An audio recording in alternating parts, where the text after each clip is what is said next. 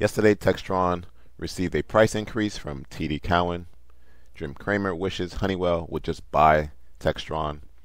This is the monthly chart, and the momentum is to the downside. However, overall, it is range bound. And the best levels to go long is at the monthly bias level at $160.